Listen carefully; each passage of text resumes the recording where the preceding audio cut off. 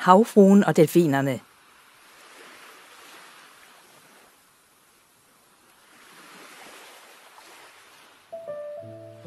Havet havde været stille og roligt de seneste dage, men nu rullede bølgerne højere og højere under en truende himmel. Fiskerne skyndte sig tilbage til havnen. Solly var en brav af erfaren fisker. Han vidste, at han skulle vende tilbage til den sikre havn, når en storm nærmede sig. Da stormen tog til, tænkte Solly på de to børn, som ventede på ham. 13-årige Risa blev af fiskerne kaldt vores lille havfrue. Når Solly tog ud på havet, passede hun sin yngre bror, den treårige Laos, for deres mor døde, da Laos blev født. Pludselig revnede sejlet, masten knækkede, og Solly blev slynget i det oprørte hav. Rissa, der var ved at koge suppe hjemme i køkkenet, var bekymret for deres far. Hun prøvede at berolige lille Lars, mens hun gav ham mad, men hun frygtede for faren i den gamle båd med det sammenlappede sejl. Risa, sagde Lars, jeg er bange. Hvorfor er far ikke kommet hjem? Stormen er farlig og skræmmer mig. Lad os gå op til ruinerne. Risa pakkede ham ind i frakken og tog sin egen på. Så tog hun ham i hånden, og sammen gik de ud i stormen. I ly under et tag så hun det gamle maleri, som hun elskede. Her var smilende fiskere og glade delfiner sammen i en stille bugt, og over dem svævede en havfrue med udbredte arme og omfavnede det hele. Rissas mor havde bragt hende med hertil og lært hende om dengang, da fiskerne blev reddet af delfiner, og landsbyen hjalp strandede delfiner tilbage til havet. Rissa elskede at tegne delfiner. Nu er det anderledes. Landsbyen afholder en vemmelig festival, hvor havets rigdomme hyldes, og som en del af festen fanger indbyggerne delfiner i bugten og slagter dem. Rissa havde festivalen og de redsomme massakre på de hjælpeløse delfiner. Hendes far deltog og forklarede Rissa, at fiskerne må forsvare de skrumpende fiskebestande imod delfinerne. Rissa troede ikke på, at manglen på fisk var delfinernes skyld. Hun vidste fra maleriet, at da der i fortiden var mange flere delfiner, havde fiskerne behandlet dem godt. Sidste år måtte Rissa tage med ud i farens båd, fordi hun var blevet 12 år gammel. Hun så med redsel, hvordan delfinerne var blevet stukket til døde. Da Solly skulle til at slagte den største delfin, bønfaldt Rissa sin far om at lade den leve, og hun brast i tårer. Solly kunne ikke fortsætte og sænkede sit spyd. En anden fisker kastede sit spyd, der skar en flænge i delfinens hals. Delfinen havde held til at undslippe ud i det åbne hav. I ruinen så Risa på det smukke maleri og græd. Stille bad hun til havfruen, delfinerne og havet, og bønfaldt dem om at redde hendes far og de andre fiskere. Hun sang en stille vuggevise for at berolige sin lillebror. Close your eyes, my dear. Rolling waves, can you hear? Softly they whisper you lullabies. So, my child, close your eyes. The waves bring you sweet dreams of dolphins playing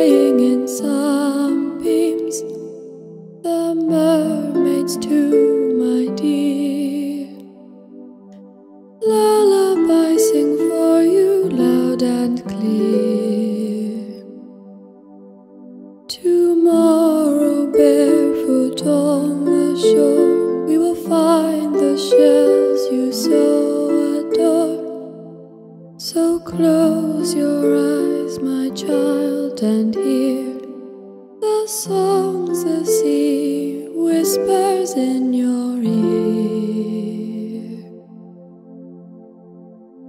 Close your eyes, my dear. Rolling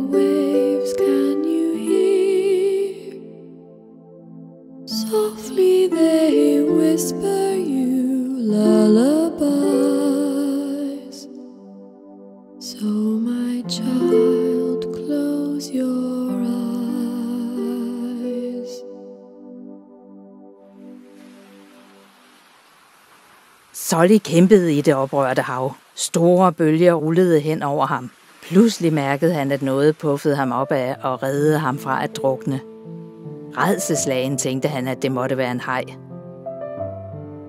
Solly blev skubbet op til overfladen og hostede vand ud af lungerne. Overrasket så han en stor delfin dukke op, og da den svømmede rundt om ham, så han, at den havde et ar på halsen. Solly var udmattet, men delfinen knuppede sig op af ham og opmuntrede ham til at holde sig fast til dens ryg. Delfinen kaldte med høje vin på fire andre delfiner, mens den nikkede med hovedet. Da de satte kursen mod kysten, mistede Solly bevidstheden og gled ned i vandet. Men en anden delfin svømmede ind under ham og hjalp ham op til overfladen. Stormen tog af, og da daggryet kom, vågnede børnene og tænkte på deres far.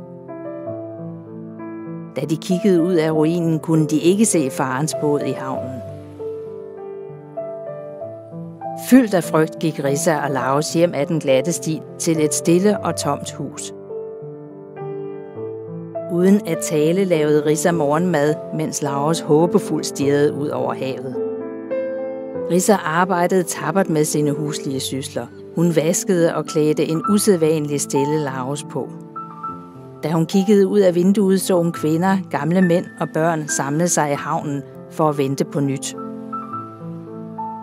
Kom, Lars, lad os gå hen til den, sagde hun. Hånd i hånd vandrede de to børn ned til havnen. Der stod en stor støjende flok ved havnen. Pludselig så de fyrmesteren, som råbte og pegede ud mod havet. En flok delfiner nærmede sig, og hen over finden på den største kunne de se en arm holde fast om den. Delfinerne var for bange til at komme nærmere, så de tøvede ved indmundingen til bugten. To fiskere sprang i en båd og roede dem i møde i fuld fart. Det er Solly, han er i live. Delfinerne har bragt ham hjem, råbte de. Delfinerne vinede, menneskemængden klappede og hujede, og Risa græd af glæde, mens hun takkede delfinerne, havfruen og havet. Da landsbyen den aften kom for at lykke ønske Solly med, at han havde overlevet stormen, fortalte han dem igen og igen, hvordan de fantastiske delfiner havde reddet ham. På Fiskeriforeningens møde bad Solly sine venner om at ændre holdning. At dræbe smukke, intelligente delfiner er ikke nødvendigt, og i stedet foreslog han, at de delte havets rigdomme med delfinerne. Desværre var Fiskeriforeningen så fast besluttet på deres, at de helt ignorerede ham. De stemte ikke for at stoppe delfinfangsten, og hvert efterår fortsatte slagtningen af delfiner. Solly derimod elskede nu delfinerne lige så meget som sine børn og ville aldrig mere skade dem. Det er så oprørende at vide, at fiskere rundt om i verden stadig dræber delfiner og andre havpattedyr, som valer og sæler. Vi kan hjælpe med til at stoppe den unødvendige fangst. Vi kan skrive under på protester på internettet og opfordre vores venner til at gøre det samme.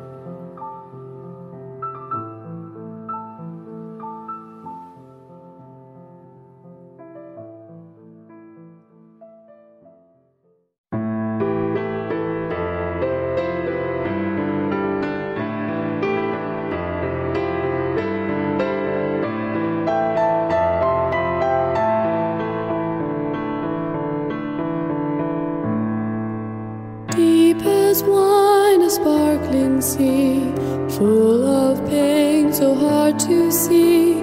Gulls cry out, or maybe it's me, longing to see you safe and free. Seahorse oasis magical nights ride the waves day and night. Mermaids sing out a mystical song, call sea warriors brave and strong.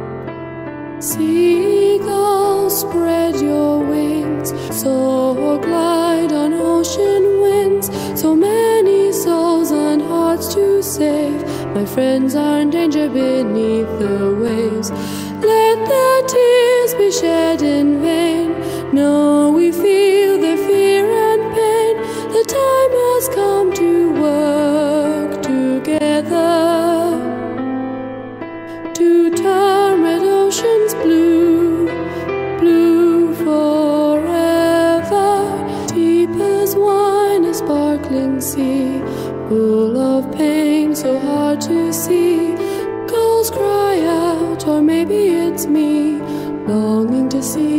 safe and free. The time has come to work together to turn red oceans blue.